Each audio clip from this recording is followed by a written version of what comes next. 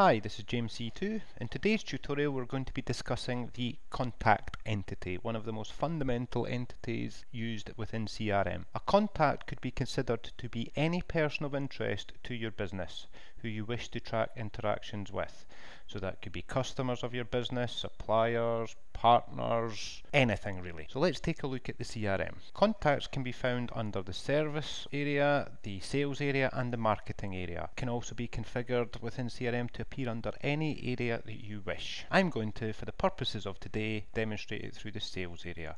So we go to the sales area, click on contacts and we see a view of the contacts. I'm going to change the view to show active contacts. So this will show every contact that is in our system who has a status of active. I can also change that to inactive to show all of the contacts with an inactive status. There are none in our database, but that's how you do it. I can also pick one of the other views, contacts I follow, that will list every contact I have specifically marked as being of interest to me. So let's look at a contact record. Within the contact rec form, there are a few things to consider. On the left hand side we have the contact information, so that's things like name, title, company name, email, address and so on. Any fields that are in blue are clickable, so the user can interact with it. If I click on the C2 software, that will take me to the form for C2 software. If I click on the info at c2software.com, which is an email field, that will open the user's email client and auto-populate info at c2software.com into the email. If we scroll down, we can see that CRM uses the address and we'll populate a Bing map showing the contact's location. Down the right hand side we can see the company that the contact works for. We also have a list of all recent cases that have been raised against that contact. We can scroll down and again show all recent opportunities relating to the contact.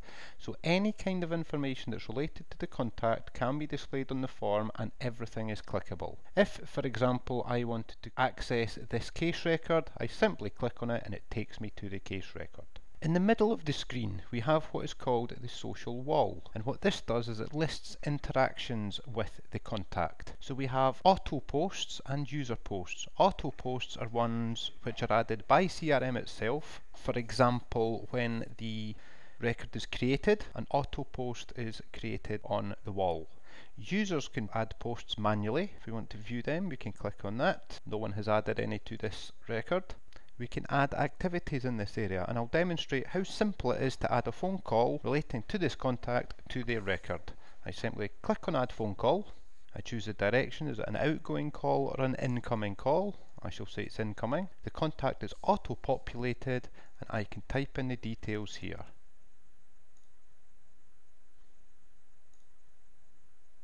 That creates a record of the phone call on the contact's record. We also have access to other information related to the client. If it's not specifically displayed on the form in the way that cases and opportunities and entitlements are, we can also go to the top in the ribbon bar and see all of the related information in here. So if I go to activities, as well as seeing activities on the social wall, I can click on activities here so choose all activities and here are all the activities that relate to that contact.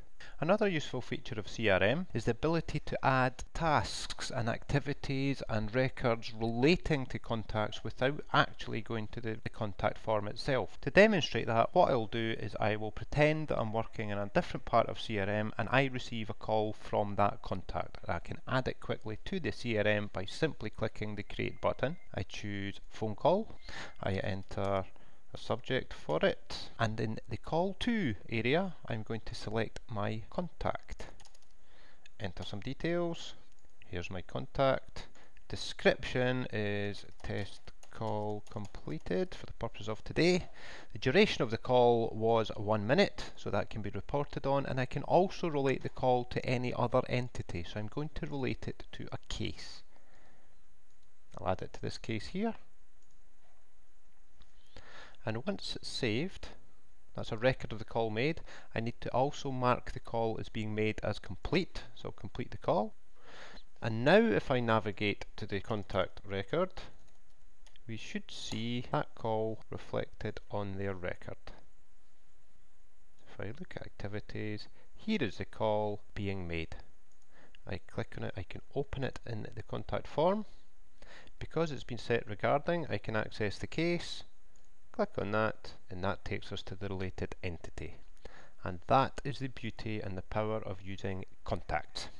If you enjoyed this video, please follow us on Twitter, like the video or subscribe to our YouTube channel and if you'd be interested in a free trial of CRM, please don't hesitate to click on the link or get in touch. Thank you.